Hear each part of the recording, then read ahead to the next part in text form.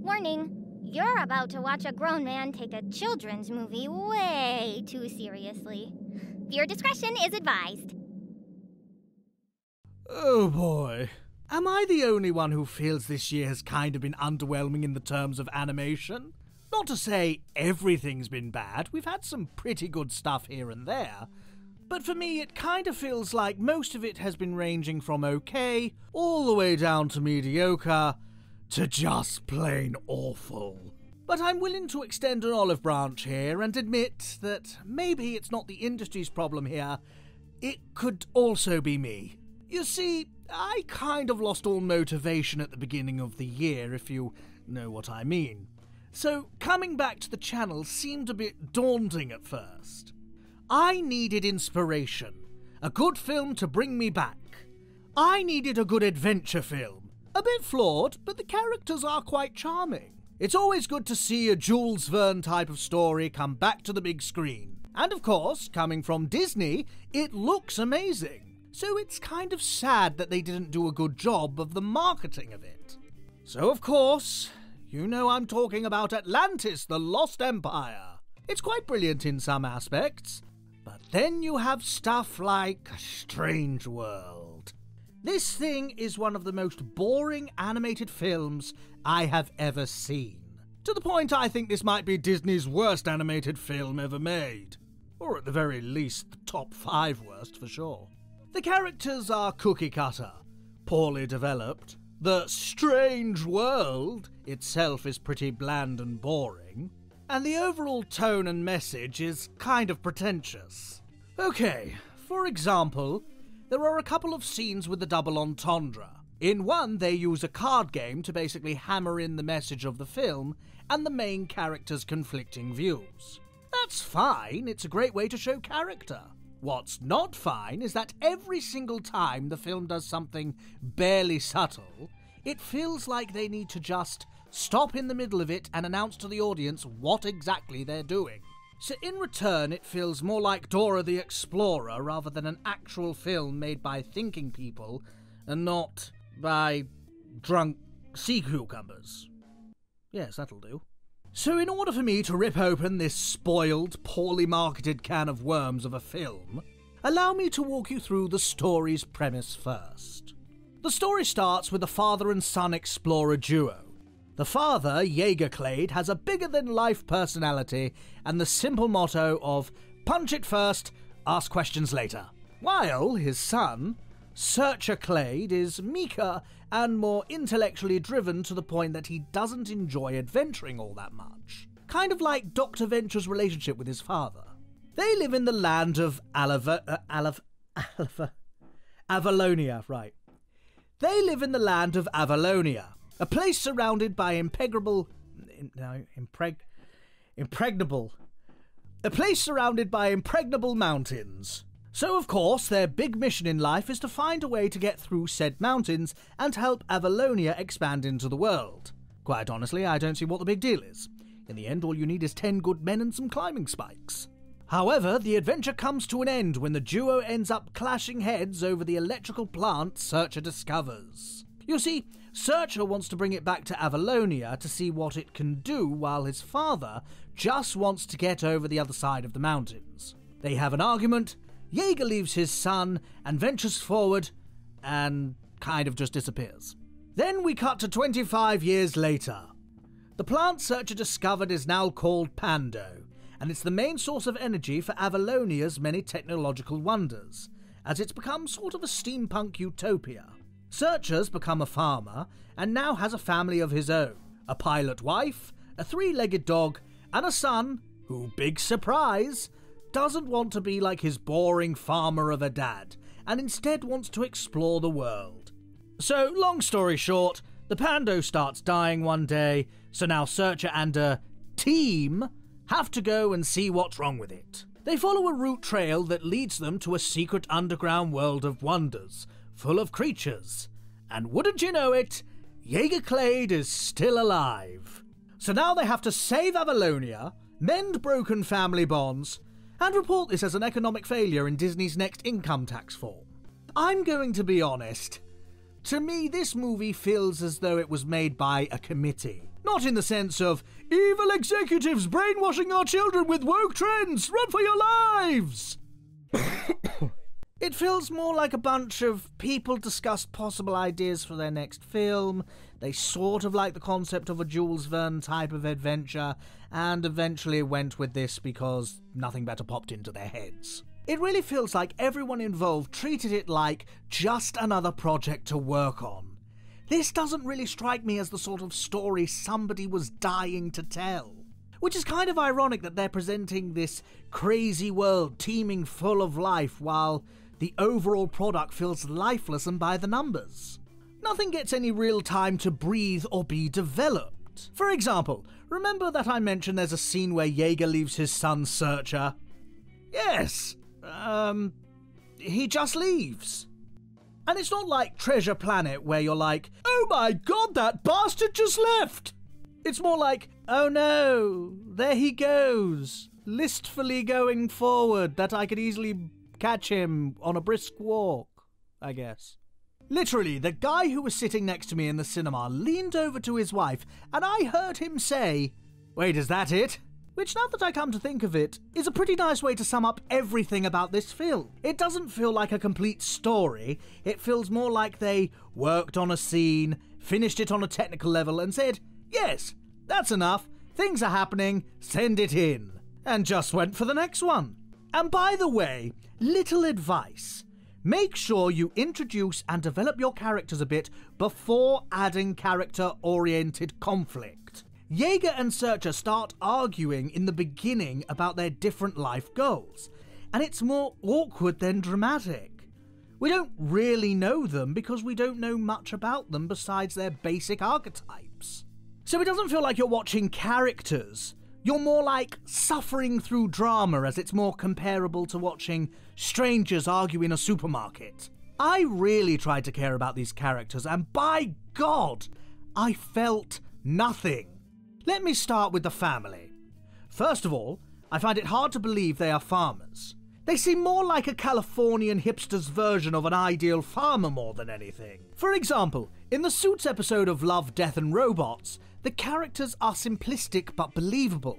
They actually remind me of people that I know, and most of them, yeah, grew up on farms. You know the type of person, the one who'll go for the calm, simplistic environment while doing all these back-breaking physical jobs. But not in Strange World. No, these are not your typical farmers.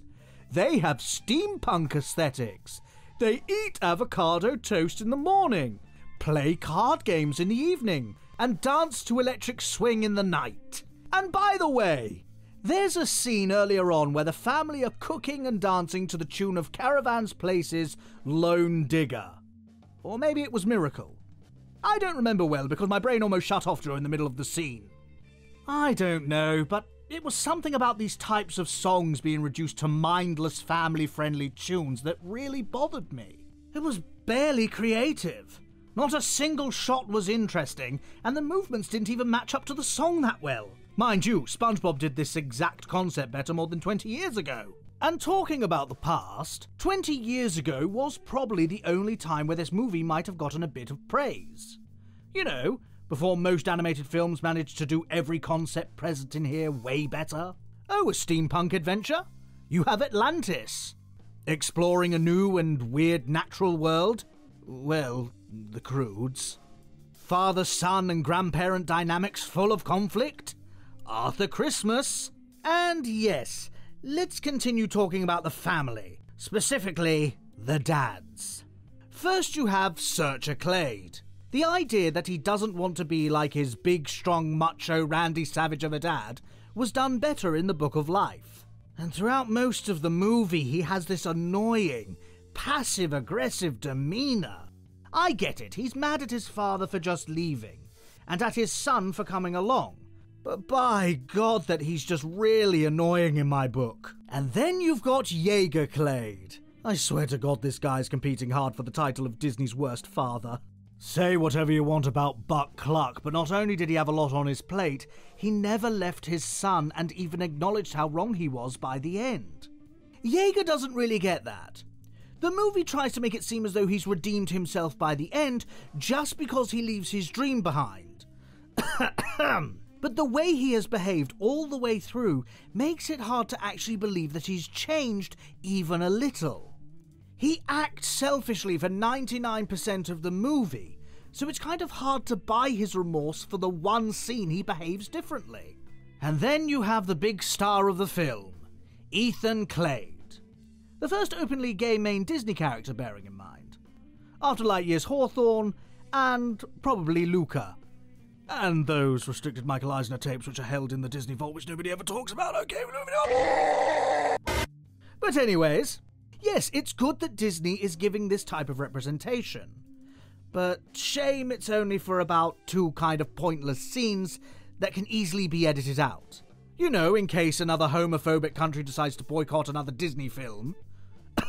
and even then, they don't kiss or do anything with the relationship.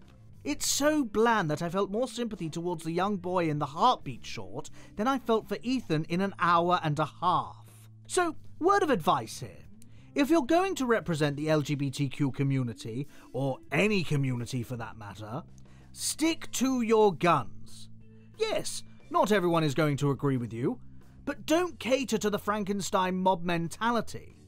Don't reduce it to a scene that can easily be removed with a simple, Hi, I'm Xi Jinping and you're not watching the Disney Channel. Bum bum. So, yeah, Ethan, apart from being Disney's first LGBTQ character, Ethan isn't that interesting personality wise. To be honest, he's kind of messy. He spends most of the film talking about how much he wants to have an adventure and not be like his boring old dorky dad. Ahem. And even then, for all his talk about adventure, we don't really see him take any real initiative or do much exploring.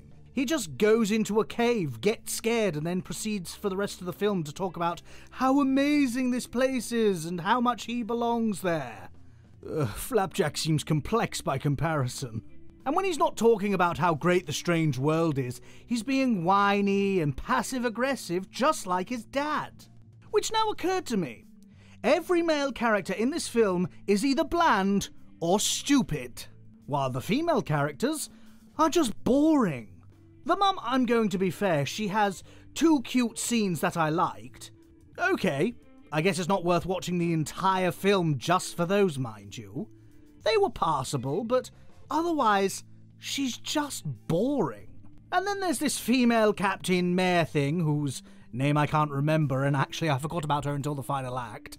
I don't even know if she has a personality, and quite honestly, I don't care enough to find out.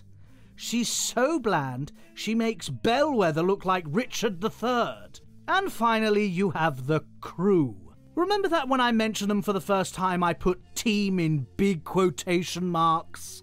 Well, that's because they might as well not exist. Most of them don't have a single line of dialogue, let alone a personality. I mean, I couldn't name you one of them if I had a gun to my head. And that wouldn't be so bad if at least they killed off some of them. Remember how many people Atlantis killed?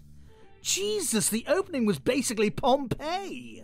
But not in here. Not only are there no deaths on screen, the only person who dies in this entire thing is a nameless pilot which even then I wasn't completely sure he died. The way the scene played it, it looked like he could be brought back for the post credit scene or something. I might sound mad or irritated, but that's just because of the awful year I've just had. Truth be told, this film made me feel nothing. An hour and a half of pure nothing. Some people are saying that Disney is barely marketing this movie in an attempt to drive more attention to their remakes. But I disagree. They probably saw how much of a flop this was and did the wise thing let it die. Let it die, let it die, let it shrivel up and. Because as things stand, it's probably Disney's worst animated film to date. Home on the Range has a catchy soundtrack, and the villain scene was well done. Chicken Little has the baseball scene, which is really well choreographed, and a cute gag here and there. And even Planes has a couple of cute scenes. But in Strange World, there's nothing. I even struggled to write this script not because of time, but because I could barely remember this film. As of the moment of writing this exact line, I want you all to know I saw the movie two days ago, and it's already leaving a blank grey space in my mind. And don't come with me with the whole, oh well, this movie's just for kids argument. This is not for kids, it's for toddlers. And even then, I've babysitted through movies made for very little kids, and they were way smarter and more engaging than this garbage. Quite honestly, the only strange part about Strange World is how Disney agreed to release it at all in the first place. Oh. Hey, can you wrap it up already? You said you'd be done in 45 minutes. Yeah, we're just doing the last line. That's it. We've pretty much done the entirety You of the told me 45 minutes. I know, it, it just went a little bit over because we had to do some rewrites. That was all. Okay, 10 minutes and that's it, and then you get your ass in the kitchen. Okay. Okay, that's fine. So, what do you think? You have issues. Ugh.